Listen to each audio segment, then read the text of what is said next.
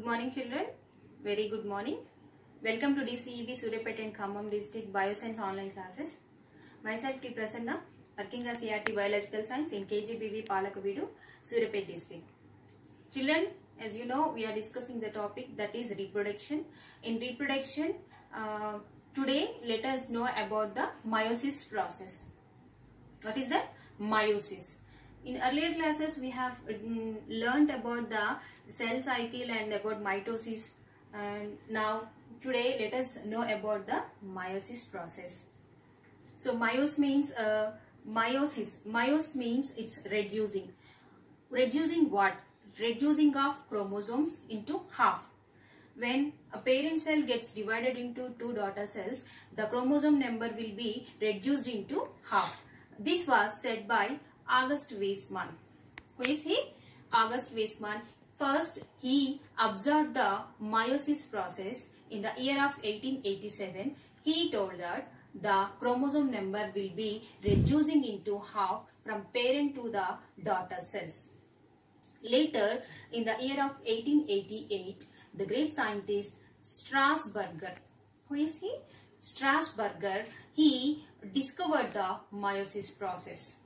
August Weismann observed the process of meiosis and the Stra uh, Strasburger next uh, Strasburger he uh, discovered the process of meiosis.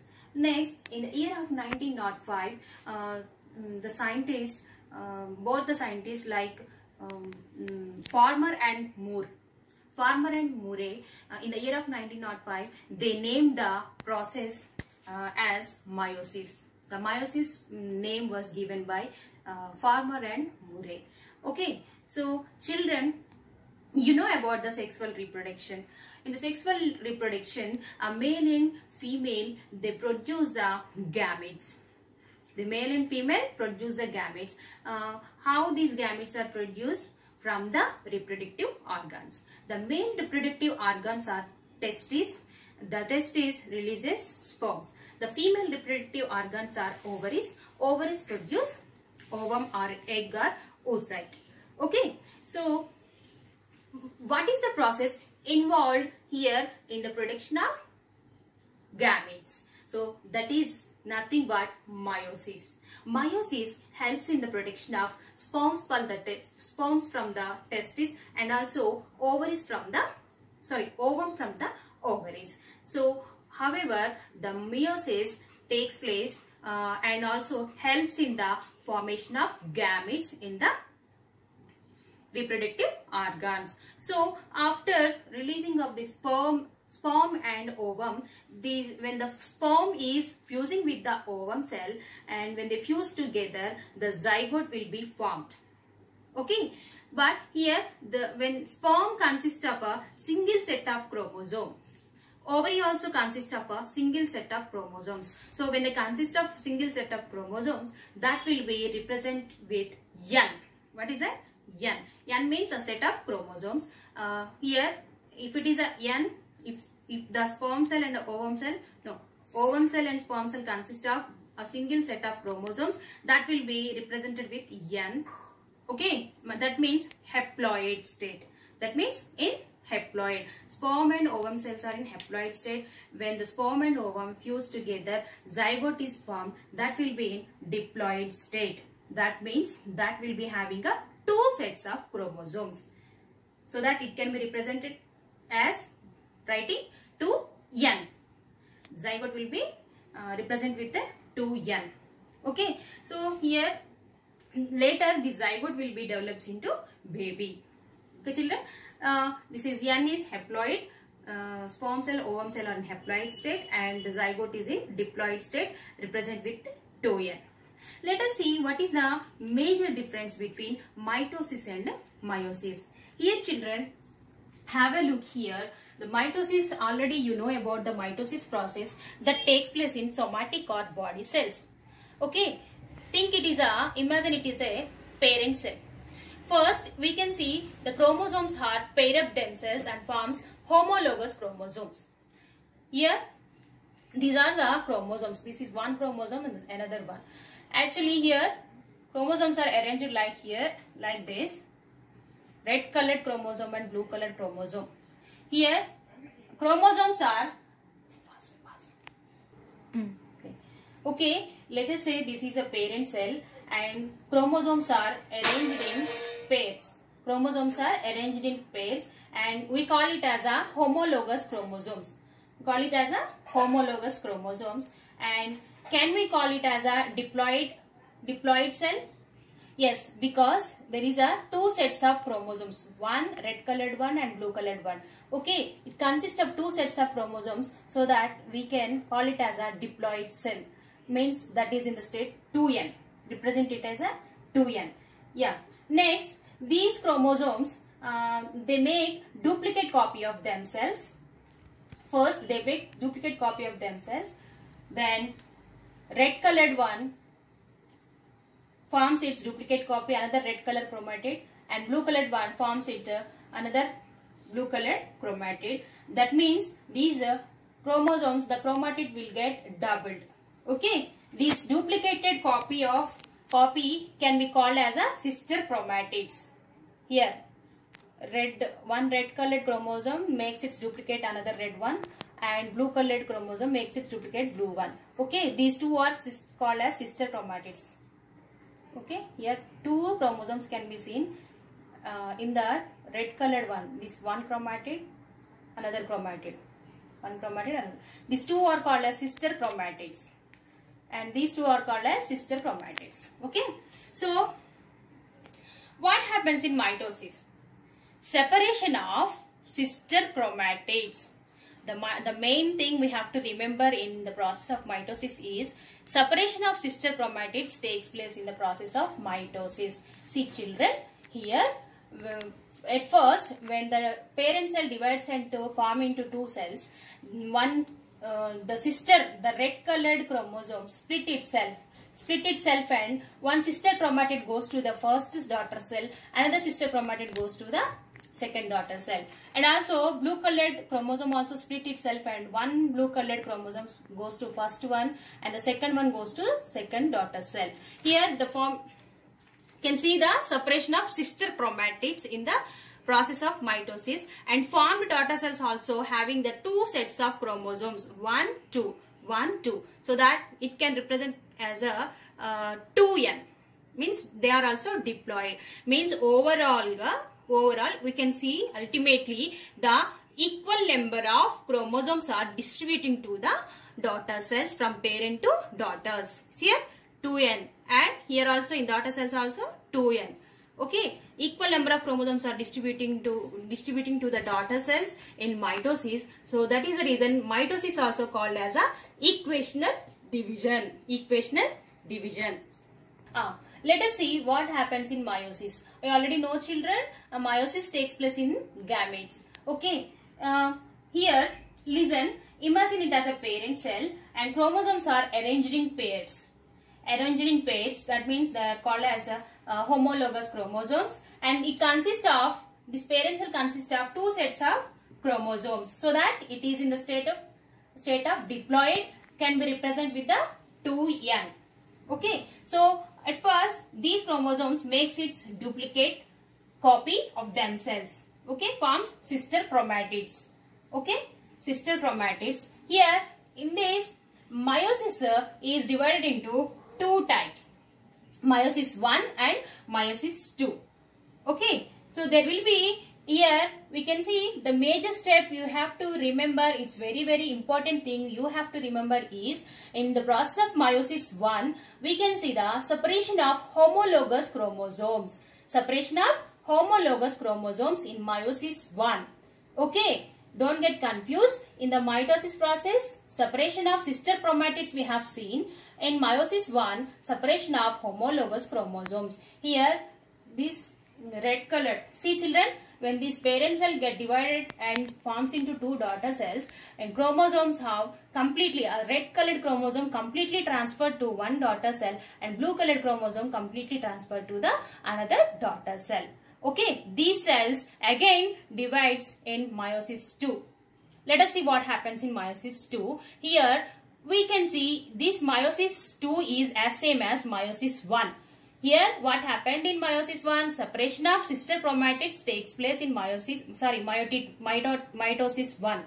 Okay, meiosis 2 is equal to uh, like mitosis.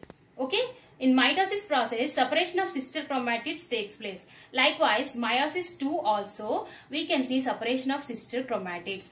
In meiosis 1 process, uh, after separation of homologous chromosomes into two daughter cells and here we can see separation of sister chromatids. Here the red colored chromatid, uh, red colored uh, chromosome, uh, one sister chromatid goes to the one cell and second one goes to another one.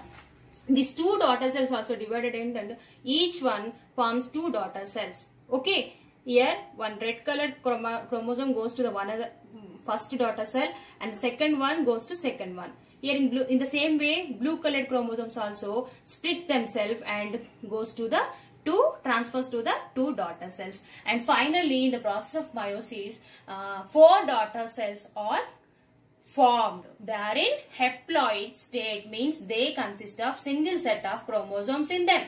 Okay, so we can represent them it, it as a N, N, N, single set of chromosomes. So these will become, these four daughter cells will become uh, gametes. Okay, started with a diploid parent cell and forms a haploid, four haploid daughter cells.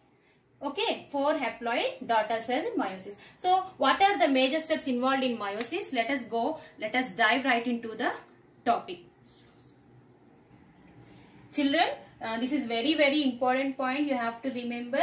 In mitosis process, there will be separation of sister chromatids takes place. And meiosis 1, separation of homologous chromosomes and in meiosis 2 uh, as usual like how uh, the chromat sister chromatids are separated in mitosis uh, likewise meiosis 2 also uh, separation of sister chromatids can takes place okay so uh, what are the major steps what are the major stages involved in meiosis process let us see here children it's very very important table if you draw this uh, note down this uh, there, so that you can easily understand.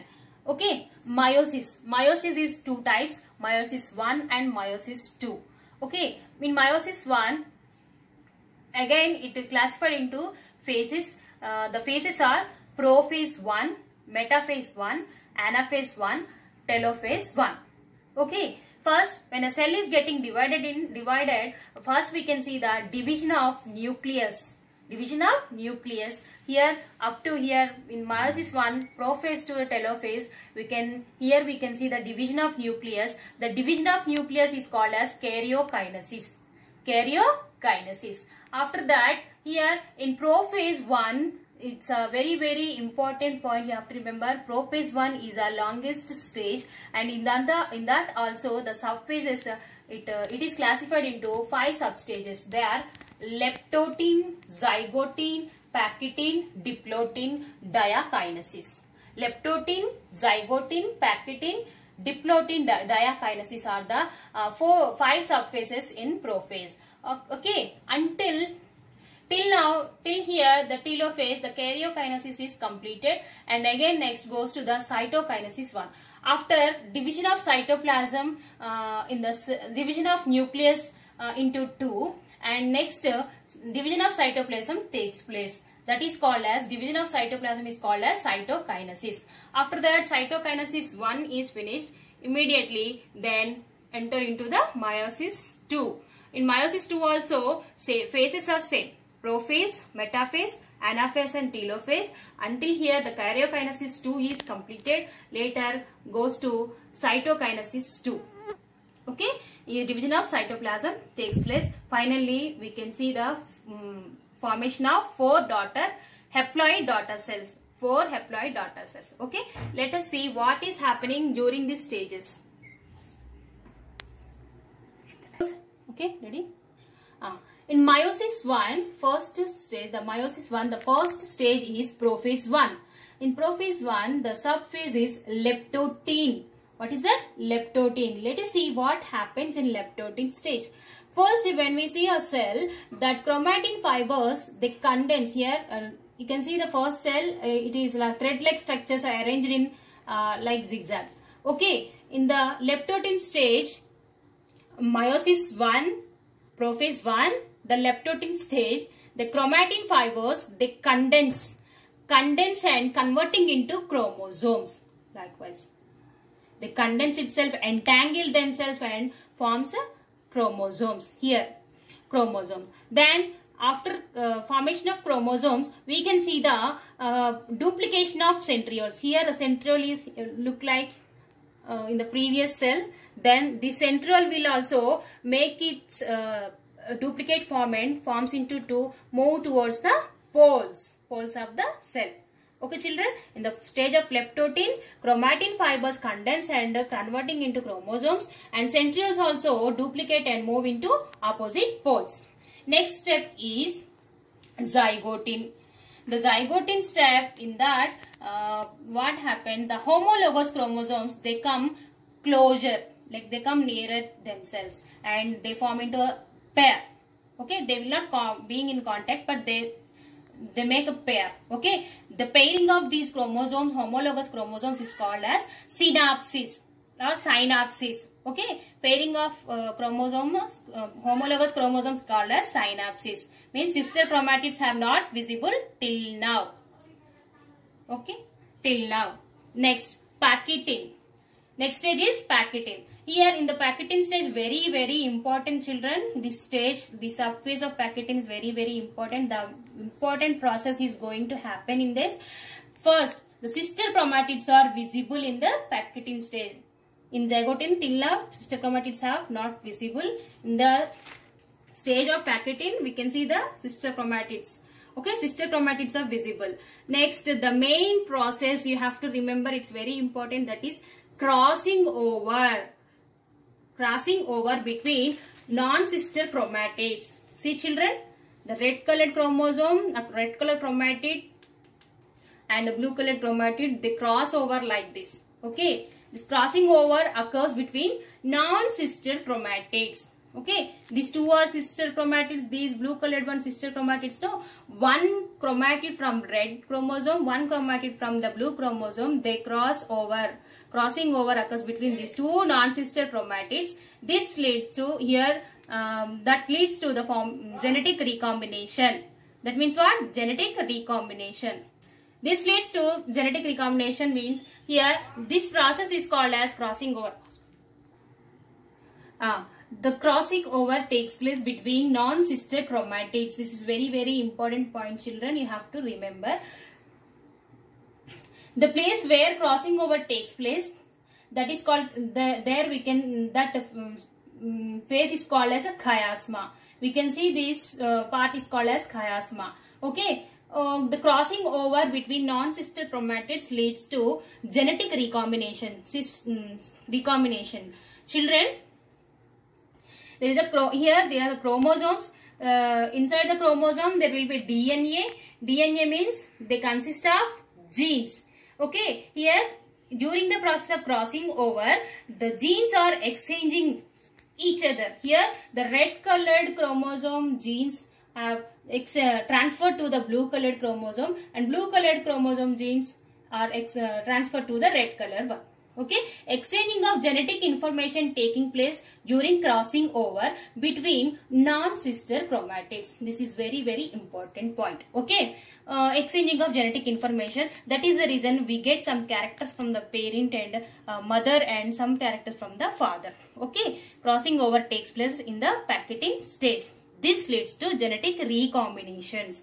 Okay? The next stage is diplotene in the process of in this phase the diplotene pro, in the diplotene phase here we can see the recombinant chromosomes uh, start repelling each other.